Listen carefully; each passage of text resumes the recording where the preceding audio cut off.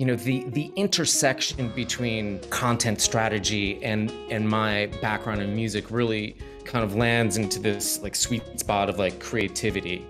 And and i think as i moved on in in both careers you know i was always kind of fascinated where where the the two fields kind of crossed over. And i think it's specifically in the documentary work that we've we've done over the past uh, seven years, where I've really found a, a sweet spot.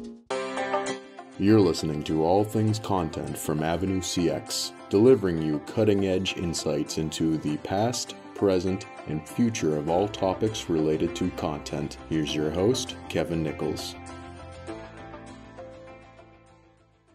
Hi, everybody. I'm Kevin P. Nichols, and I am here in Boston, Massachusetts, recording from Staples uh, Studio.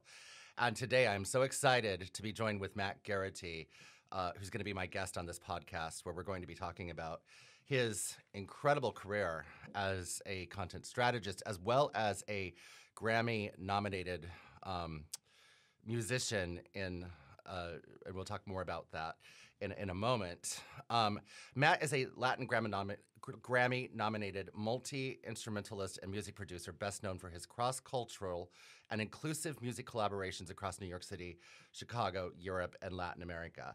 He's also a highly esteemed and uh, incredibly accomplished content strategist. Um, I'm gonna. You can read all about him on mattgeraghty.com, but um, his bio in terms of music is is incredibly lengthy. He um, has written and recorded several CDs. He's done at least two movies or, or videos that I know of, and um, we'll get more into that in a moment. Matt and I first met, I believe, when I interviewed him for a position at Sapient back in probably 2011, 2010. Um, so we've known each other for years, and um, I'm thrilled to have you here today, Matt. So thank you for joining me. Kevin, pleasure to be here. Always a blast uh, talking with you, and uh, I, I, must say that your two books that you've you've written, I still use uh, as go-to resources for enterprise-wide content strategy projects. So I'm grateful to to be with you today, and uh, thanks so much, man. Really appreciate the in- invitation. So I want to get started because a lot of people in it's kind of funny because I had not known that you were into music when you first started um, at Sapient, and you didn't tell me probably until about a year into your career, um, and it was like the two worlds were somewhat fragmented content strategy versus music and i want to get a little bit into that in a, in a moment but um, so there are people out there probably that know you as a content strategist that don't realize just how accomplished you are as a musician. Um, and, and an award winning musician. I think when I met you, um, or when you told me that you were uh, a musician, you then uh, went into talking about how you know you had a performance at Carnegie Hall or something, and I was like, "What?" Um, but anyway, let's let's start there. Um, I recently watched your uh, Latin uh, Grammy-nominated film, and can you just do me justice and tell me how do you say it uh, correctly? For sure. Well, in Spanish, it's Guerreras de la Música Afro-Peruana, and in English, uh, that is the warrior women of Afro-Peruvian music. Mm-hmm. Mm-hmm and that I w- one of the things that struck me at the beginning of that film, you have a quote where you say, "My bass has been my passport," um, and I love that quote. Um, and it's been your passport to the world. Uh, tell me a little bit more about what that means and what that has meant uh, vis-a-vis your life. I've always been curious about discovering and learning about other cultures. Mm-hmm. And music is is one of those things that's an immediate uh, conduit into understanding other cultures and what i've what has been one of my passions over the past 20 years is traveling to south america to europe to asia and understanding, you know, the stories, the music of cultures. And it's really made me quite, quite humble to have, you know, gotten to learn from these master artists from Peru, from Puerto Rico, from Brazil. Uh, and most recently, with a focus on women artists to understand their stories of struggle uh, in in these very like male chauvinistic societies, specifically in, in Peru and in other uh, countries in, in South America, and just the importance of bringing visibility to to them, not only their music, but their their stories, and and that's what I feel um, music as a, a, passport and specifically my bass because I'm a, a, a bass player has allowed me to do, and I'm just so fortunate. And you're quite an incredible bass player, by the way. Um, I did want to ask, uh, how did you get into music? My grandmother. Uh, luckily, uh, I grew up in a family where, where my grandmother on my mom's side was a piano player. And she told my mom, you know, Matt and Joanna, they need to take piano lessons from their from an early age. So we had a piano in the house. We learned classical music, uh, Mozart, Beethoven, but then like pop tunes as well. But I have to be honest, Kevin, like I wasn't really into it when I was nine years old. I was like ready to, to quit. I mean, just not really. I was more into sports and right. and um, so I, I, quit by like age fourteen music, and because I thought it was this really strict thing and and didn't have that much fun doing it. I'm like, if music is this, forget it. I'm I'm done. I'm done with music. Those obligatory scales at the piano lessons of Czerny or whatever that you have to learn, right? yeah, I just can't get into that. I'm sorry, you know. And speaking so, of sports, so I know you were injured um, when you were younger, and I know that had a profound influence on your life. Um, yeah. So how did that impact you and how did that like intersect with your creativity in terms of art like what did that mean for you so i was shot in the eye uh, by my friend with a paintball gun and lo- when i was 16 and lost uh, vision in my right eye. So at that point all the sports that i was playing were put on hold because i had this traumatic injury. And that's kind of like a tough thing to deal with when you're 16 emotionally too knowing that you're going to lose your vision in your right eye i had another friend who said matt i see you're kind of depressed and down. Do you want to join our rock band? We need a bass player. Really? And, and the rest is history. I went out bought a bass player. Through all of my anguish and and sorrow and uh, regret from you know this big accident into to learning Black Sabbath, uh, Eric Clapton, Jimi Hendrix, uh, and and found that music, you know, ultimately has this healing power. Right. Because I put all of my my energy into that and and learned music and rediscovered music after quitting it and fell in love with it and that set me on a path of uh, really reigniting you know my love for for music and and has taken me around around the world so you then went on to really uh invest yourself in music right? So take us a little bit into your career with that. Sure. Uh, so i lived in spain for a year and while I was there, I was cutting my teeth on the music scene, learning about flamenco.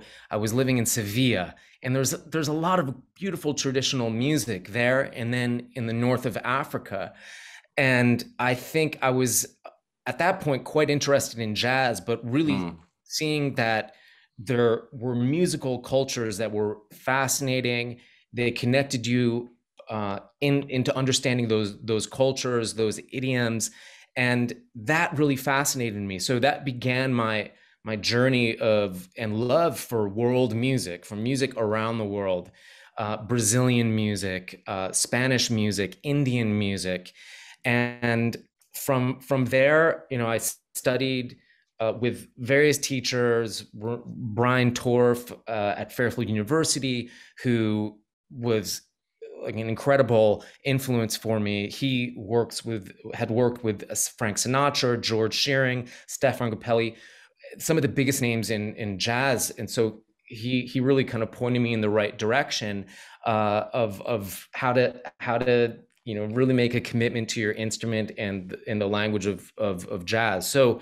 from there, I just continued studying, learning uh, from uh, the best musicians that I could find around me and continued on on that path and and it just led led down to a lot of interesting uh, uh, pathways creative pathways that i could talk about i'm sure for a few hours but yeah um i mean that's i mean it's incredible to me your career i mean i remember when you first told me about it and then you we were in a conversation um i think we had gone out to dinner and then you started then we went out again after that because I wanted to hear more about it. And you had told me about was it Anna Maria Jopek? Is that mm-hmm. correct? And, uh, yes. very, very uh, uh, famous artist in Poland that you had done a collaboration with on a CD. Um, yes. That had been released. And um, what struck me at the time was how incredibly um, talented you were, but also well accomplished in music, particularly art uh, or um, jazz and um, experimental jazz. And then I started thinking, you know, about your interest in content strategy. Um, mm-hmm. And sort of the intersection between the two, because I think there is an intersection between the two. Um, and I still find it fascinating that you, and you're very excellent you know, in your field and in, in craft of content strategy. Like, tell me a little bit about how you got into content strategy. Like a lot of our, our colleagues, uh, we I, I fell into it because there was a need for someone to step up when big brands were realizing that they needed someone to manage and direct their their content strategy. And in my case, uh, it's when I moved to Chicago that I uh, work for a Fortune 500 company that that and specifically within their publishing of a communications piece. So my background's in communications and it was just a natural fit. A little bit of the editorial track and it's it it's just something that I kind of gravitated towards, right?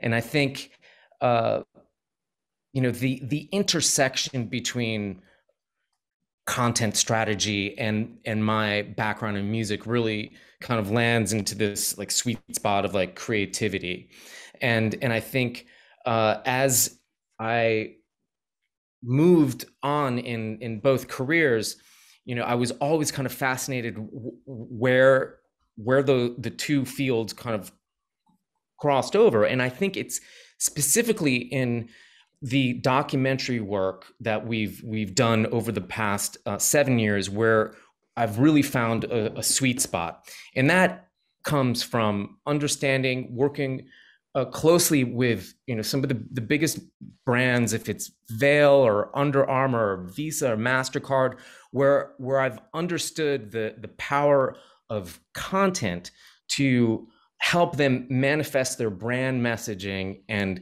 and kind of be the heart of campaigns to to convey particular messages right mm-hmm. and our seat at the table as a content strategist kind of directing those conversations and under because we're super close to to understanding the full ecosystem of content.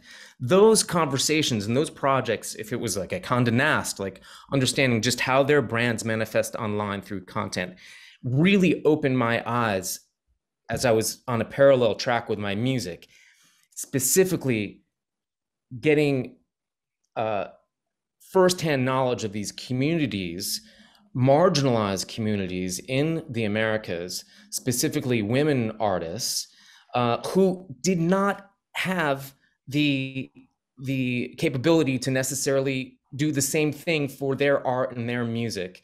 So I said, here's an opportunity for us to produce content high quality, world class content, documentary content, social media content to lift up these communities, specifically their their stories of racism, sexism, marginal marginalization that they've had to deal with, and say, hey, like let's use the power of, of content and what we know uh, about, about distributing messaging and and great content through all the possible channels to to get the word out about these incredible artists and and the world needs to know. So I think that that to me was like the aha moment. Like we could do this, and and that has been a journey of about eight eight years, and it's been an experiment and lots of risk taking and uh, figuring out how we could get the the storytelling piece of it because um, each country has a different story.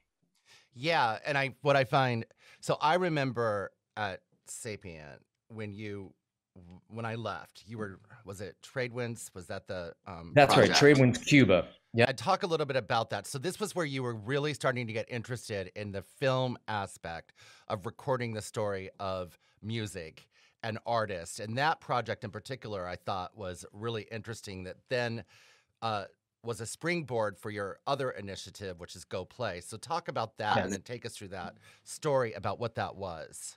For for sure. And yes, you were you were part of some of those original brainstorms, Kevin. And the the key point there is that this from the beginning, it's been about the the, the community and the great artists that we've had around us uh, you know, if, if, if, all this would not have been possible without the, the, the team that we had, Laura Newman, our videographer, Zé Luis, our producer, um, and saxophonist, and, and our friends who helped us kind of shape shape this series, which started out in New York as 21, where we created 21 brand new bands in 21 days with over 40 different artists from different countries, every day producing uh, a different collaboration with the rule of don't talk, just play and everyone's meeting for the first time right? Everyone's and we're releasing a, video every day. This was the the the laboratory that we created in new york city that we then that was in 2013 2014 that we brought on the road because we saw that it served a need to bring artists together and to collaborate and create um, a, a, forum for creativity. We brought that to new orleans tra- Tradewinds we brought it to uh, cuba where over uh, 21 days, we worked with over 100 artists, um, curating different sessions over that 21 days. That series is, is on, on YouTube uh, under uh, Tradewinds Cuba. And that, and that uh, had, our, had our team from New York, um, Zé Luis, who's a Brazilian saxophone player and producer. He was there, Laura Newman, and we had a, a hundred of the, the top artists from, from Havana and beyond featured to that and then the evolution of the series was uh, turning into more of a storytelling platform as we arrived to Peru and we met these incredible nine women artists and invited them into the studio, Afro Peruvian women and talented singers and percussionists, and said, Hey, there's a story. We need to capture their story. And that was an album and documentary called The Warrior Women of Afro Peruvian Music. And and then it continued, and we just uh, finished launching Guerreras Puertorriqueñas, the, uh, which we filmed in Puerto Rico this past year during the pandemic, inspired from our work in Peru with a, a spotlight on women artists there. Uh, the thinking there with Guerreras Puertorriqueñas was like, who who else is going to have stories of perseverance and uh, strength than the artists from Puerto Rico having to ha- deal with hurricanes and political upheaval, uh, earthquakes over the past five years. And it's like, okay, you know, we're we're in this strange phase of this pandemic, but let's go to where we could we could capture beautiful, compelling, inspiring stories that the world needs to hear. And it's a music documentary, so the music is features like emerging talent incredible singers like Tanisha Lopez, but the traditional um, Afro Puerto Rican bomba dancers. And yes. we partnered we partnered with the Ricky Martin Foundation, who was an, an incredible um, ally there and in, in, helping us feature uh, a lot of great artists from the area of Loíza, which is like traditionally the, the black um, hub of uh, culture and um, in in San and just outside San Juan. The interesting, I mean, you have an interesting take on filmmaking. I mean, you immerse yourself in it as well as showcase the unique stories of each of these women and it's uh, very interesting and there's a lot of visual imagery a lot of imagery featuring sort of the natural realm and the stories are short but in your last film for example i was taken by just the brief vignettes could speak so much like um Ilda mm. Pizarro um and yes. her passing talking about storytelling. And one of the things I wanted to say that I, I took away from the film, that film in particular, is just the veneration of the elders in the community. Like so many of these women talked about how their sources of inspiration for creativity were going to the elders for uh, the sources of that creativity.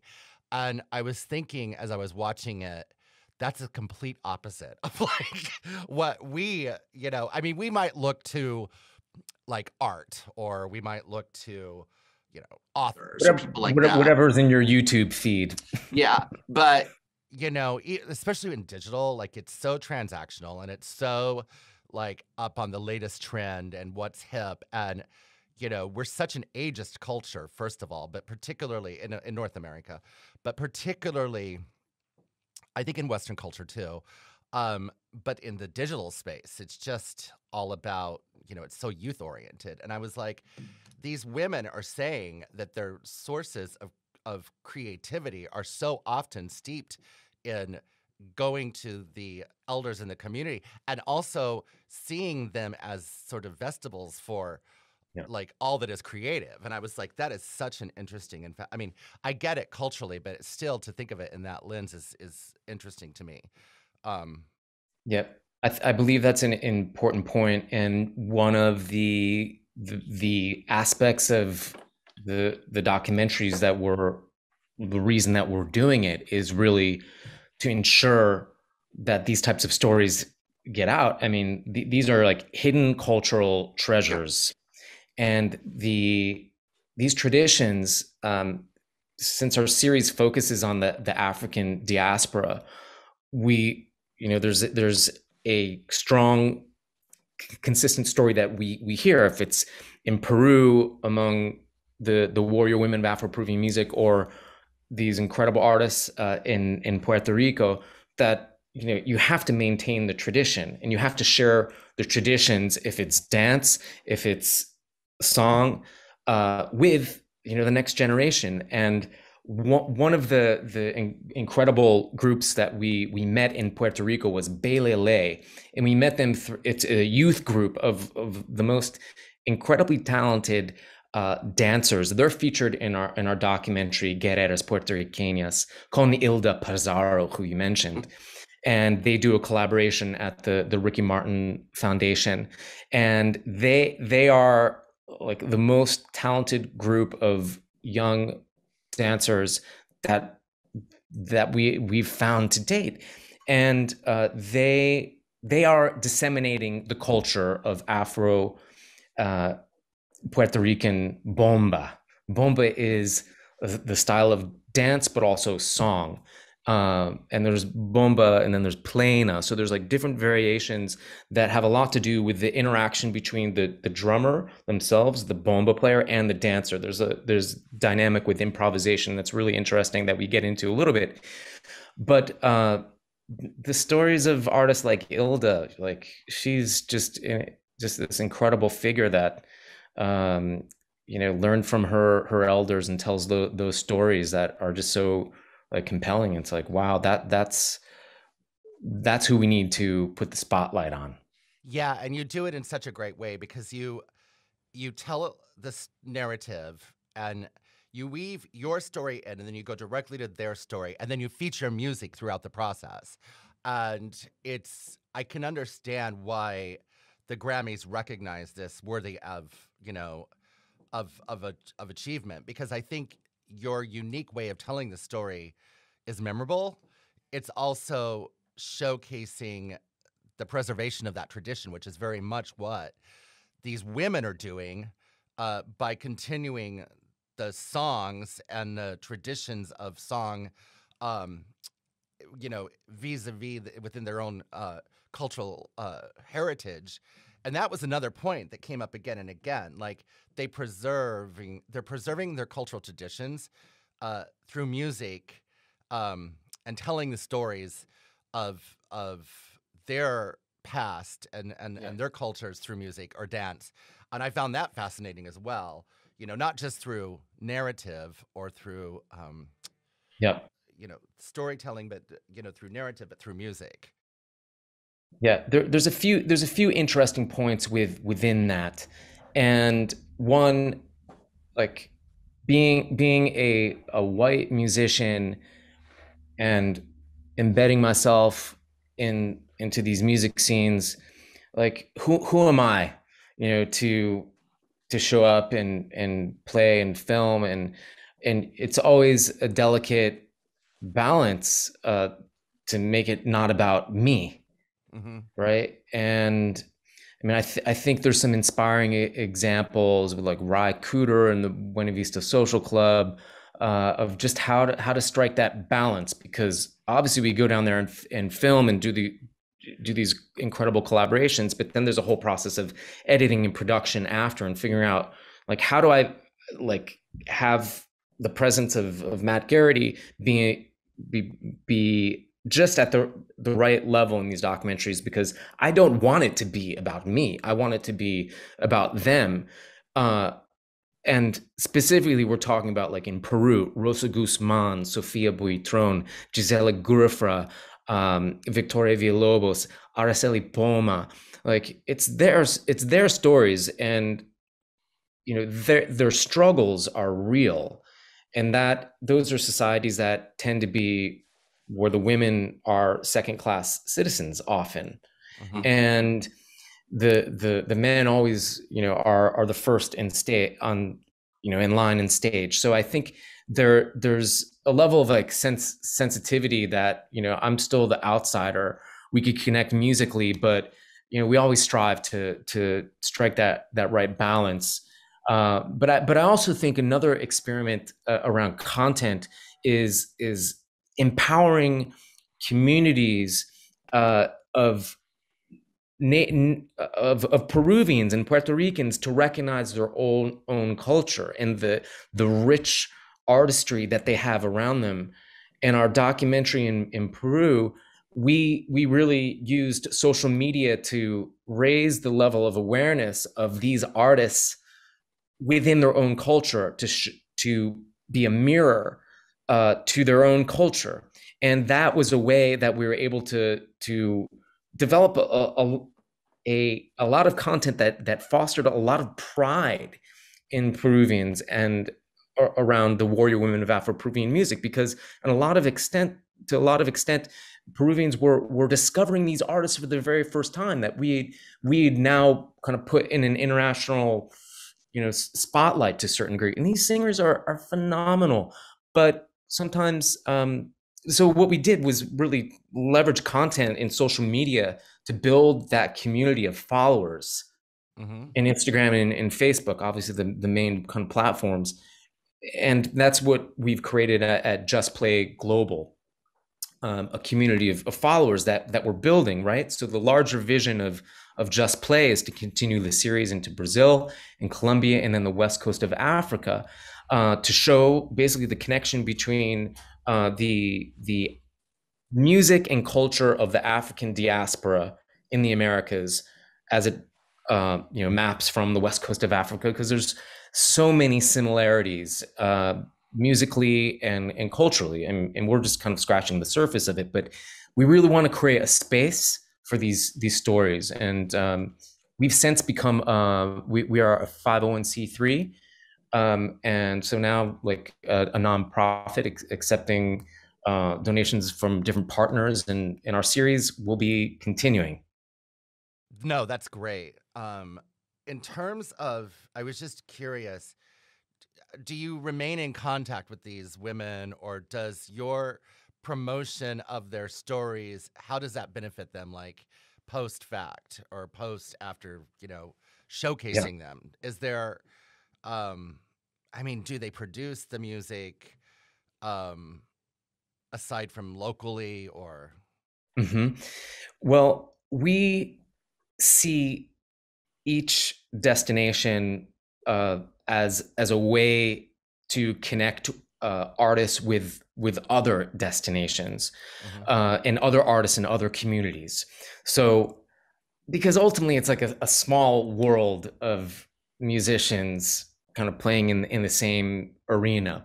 So one thing that we try to do is break down those those barriers. So the past year, because of the pandemic, we've had a lot of um, v- virtual sessions, uh, and we've invited artists from Peru, um, Sofia Buitron, uh, Gisela Gurfra, with up and coming artists from Puerto Rico that we met through the Ricky Martin Foundation, and just thinking about these cross pollinations.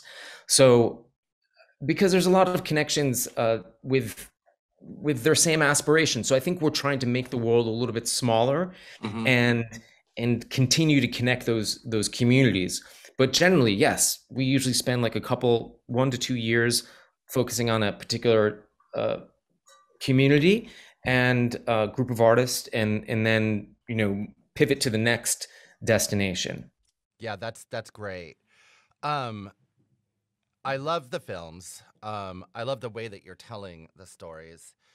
How did like how did you get into the film piece of it? I mean, there's a lot that goes into film, and you do it very well.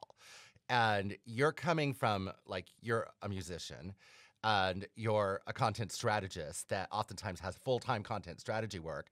I mean, the production quality of these films is high, and that can't be easy, obviously. Oh, it's it's not, and the well, none would none of this would be possible without uh, the team that I have behind me, uh, ju- just play, and so that's uh, Araceli Poma, who was one of the f- featured singers um, that uh, is on the Warrior Women of Afro Peruvian Music. She has since um, taken on a, a producer role, and we uh, also find production teams where we work. So that's local production teams in Lima, local production teams in Havana, in in San Juan, and so we we have a, a team that makes all all this uh, go go smoothly. But yes, there of course is a, a ramp up to to learning the tools of the of the trade, whether or not it's um, Adobe Premiere uh, or or what what have you. But I think uh, you know there there there's just so many stories to be told out there, and and I, and I feel like within the music world, the, these projects are are needed more than than ever, Kevin, to you know have artists take put their neck out, take some risks, and bring visibility to to artists. And for me personally, I've I've grown tremendously by by learning about these these culture cultures and, and getting to know these incredible artists. I mean, I'm just uh, in in on uh, humbled to to get to know them. Well, and what fascinates me is that you're not, you know, portrayed a director, right? And oftentimes, um, I mean, I know a little bit about film enough to be dangerous. Like, you think about documentary making, and you think about like a director that's going to sit down to do that task. They're going to uh, storyboard it out and they're going to figure out what it is that they're trying to accomplish and they're going to amass you know a production team and all this and, and, go out there and do it um, i mean there's a lot more that goes into the, that obviously but your process seems much more organic and much more uncertain and like in a sense probably a lot more risk involved oh. um, and yet it's um, you're able to create something that still is very high quality and has an incredible um that, that can tell a great story yeah i think i think this is one of the things that we learned when you create a space for artists to be themselves then you create a space where magic can happen.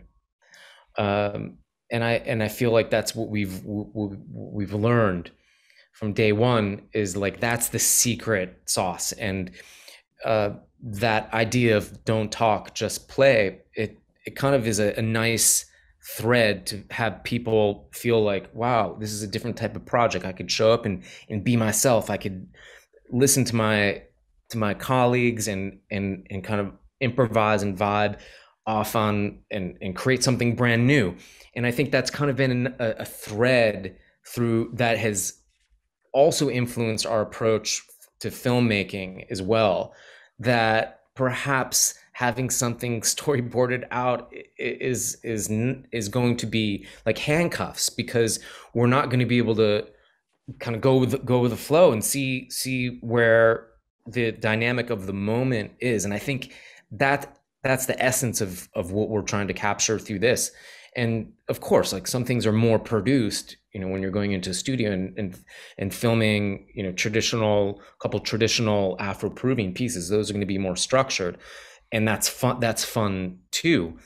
But there's also this the spirit of discovery and providing a, a, a space for for artists uh, to to really shine. And um, I th- I th- think that that's where the most exciting moments are. In addition to helping you promote these efforts, which content strategy can certainly do, do you feel that being a content strategist has helped you tell these stories more effectively as well? Yes, uh, I, I think you know the the power of understanding the the right message to at the right time to the right audience is is kind of central into how I how I think. If we're for, if we're launching, you know, content around a new chapter that's that's launching, we're thinking, okay, like, you know, how, how do we just craft this piece of content so it so it it really distills just the message that we need to to tell. So I think it's always kind of in the in the back of of my mind and, and specifically like how we build a community around this this movement of just play, right? Because uh, ultimately, it's about providing a platform for for artists, their stories, and in, incredible music that most of the world hasn't hasn't heard yet. Yeah, no, that's it's fascinating to me, and I do think that when you're sitting down and you're thinking through like how to tell the story in the documentary and then pulling it all together, that narrative structure, you know, like I mean, how do I do this? Like, what does that story look like? I can imagine that at least the organizing principle, of the organizing idea, and you know, like yes, right. And then you you have the the narrative of those artists that you interviewed, like Ilda, like Belele, like uh, Dalis Marie, like these powerful women um, artists with really uh, moving words and that basically our our our narrative needs to be kind of crafted in and in a way where you know you you have to kind of live that experience and live a little bit uh those words and understand those words and understand how you uh tastefully package all this up into a narrative that tells a larger story. So I think mm-hmm. certainly uh, that that content strategy um, uh, skills and and toolkit come in handy when you're you're in that mode of shaping shaping the narrative, the overall arc of the story. It's it's a process, right? It doesn't happen overnight. It, that that takes weeks to hone hone down what you're going to say in the in these documentary pieces. It's difficult. How long does it take you end to end to do the documentary? Um, from beginning, it's the quickest we could do it is is probably nine ten months. Which, if you probably talk to any professional documentary filmmaker, they'll they'll say like that's uh, pretty pretty quick. Usually, films take very long, but you know we we have uh, specific plans to to go to other countries. So we we can't spend like three years. We have to find a way to really efficiently make these documentaries. So we try to do them like every year. Yeah, and I don't know when you sleep because, like I said, in addition to being an accomplished content strategist, like when you first told me that you did music, I mean, a lot of times you meet people in New York and they're like, Yeah, I'm a musician, you know, that have full time careers. And it's like, Okay, where do you play? Well, I don't have, it's like meeting somebody that writes, right? And it's like, Well, I'm an unpublished author, right?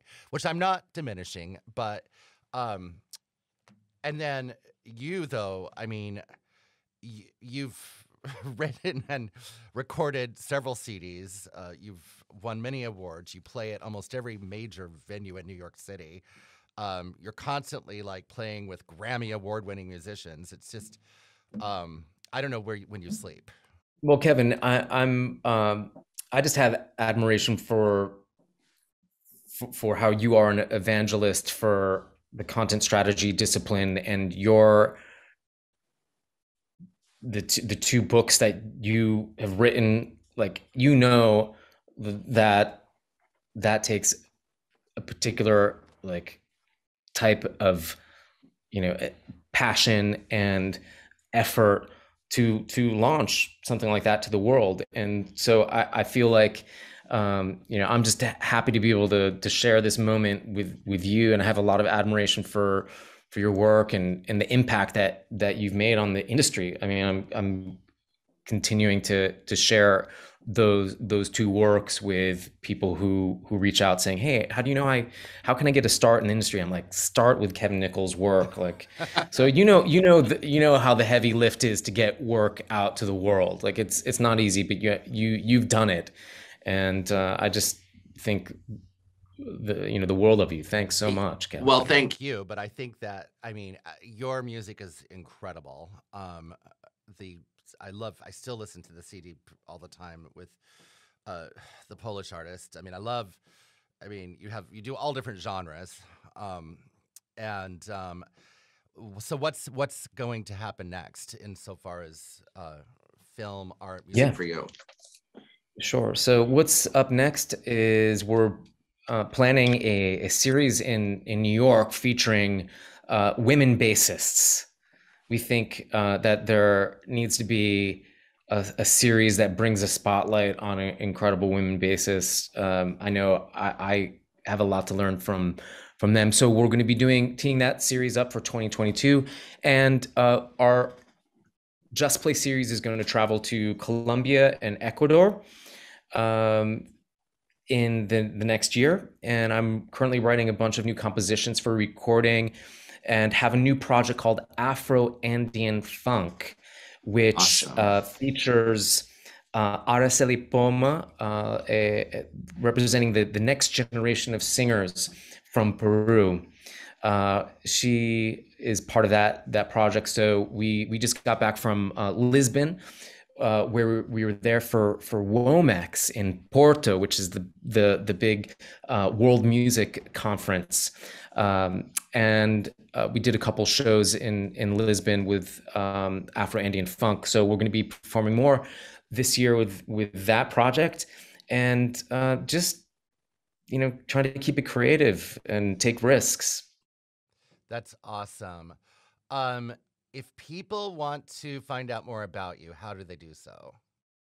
You can join our mailing list for our documentary work just play and get all that that content from peru and puerto rico and before at justplay.world and my music uh, under the matt Geraghty band is uh, at mattgeraghty.com and awesome.